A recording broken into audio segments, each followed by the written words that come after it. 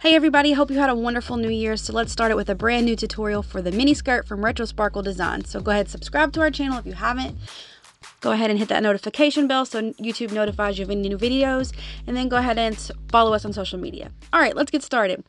Here's the pattern and it's three pieces, super simple. You need a waistband cut on a fold, you need the front piece cut on a fold, and you need the back piece cut on a fold. I'm going to be using double brush poly fabric from uh, Fab Fabrics Fabulous, I think it's what it's called. Um, it's a really awesome place. But so there's my pieces, my back, my front, and my waistband. I'm going to do the hot hand method here. So it's already cut on a fold and then I'm folding it one more time. And then you would just sew or serge the raw edge here where all the pieces are. So that's that raw edge. And then we are going to um, put the front and back right sides together here. And the back is going to be slightly higher rised in the back, um, the back top. So the bottom is going to be straight across and the top is going to be a little bit higher in the back than the front. So that's how you know. So you put these right sides together. Super simple. This is a really quick sew, by the way, and it's super cute. So we're going to do the side seams here. You can sew, you can um, zigzag stitch, any stretch stitch on a sewing machine will work. I like to use my serger, so I'm going to do that really fast. Just sew down those side seams and prepare that cuff, waistband, cuff, whatever you want to call it. This is also where I would add like a side seam tag if you want to do that. Um, but I'm not going to add it to this in particular.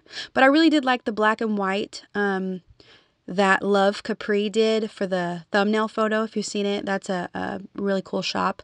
I loved her photo, and I asked permission for her to um, to use the photo for the thumbnail, and I absolutely loved it. So I just decided to kind of use it for inspiration and use this beautiful fabric, black and white fabric, to kind of, you know, create the same feel. But yeah, go give her a follow. I'll link her group below.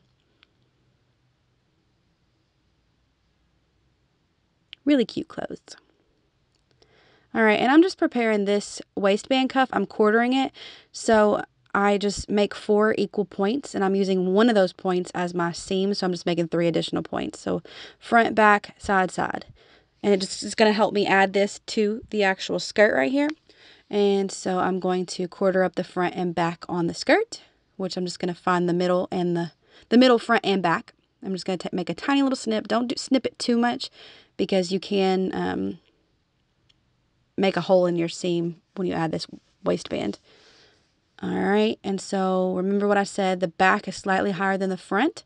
So you're going to want to add this waistband. And I like to put it inside the inside out skirt. All right.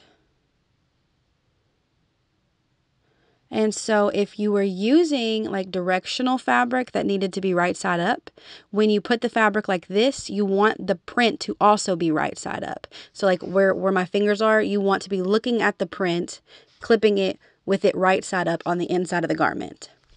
Um, so if your print is right side up, when you're clipping it like this, if you're looking at the waistband and the waistband print is right side up, it's going to be perfect.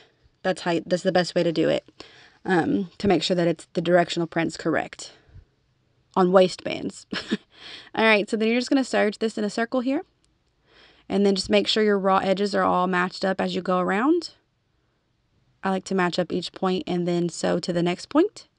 And then I like to add my tag in the middle back, which is where I also put the back seam. And I'll just put it underneath there like that and then serge around and tuck my tail with my handy dandy knit picker.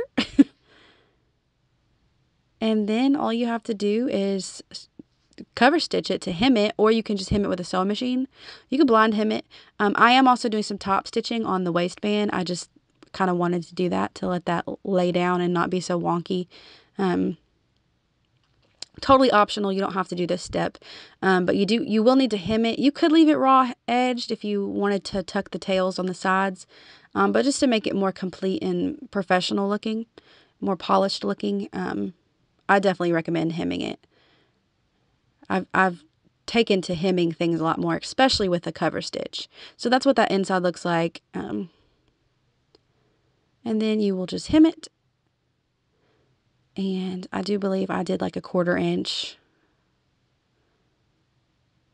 I just kind of eyeball it. If you want a more in-depth tutorial on the cover stitch, um, go check out one of the videos that we have on that. Um, to see more of our videos, you can actually go to our um, homepage or a video channel page and click videos and scroll down. So you'll see all of our videos that way. But this is what it looks like. Super quick, super easy, um, very fast sew and it's super cute on. I hope you guys liked this tutorial and um, I'll see you again very soon for another one. Thank you so much for watching. Bye.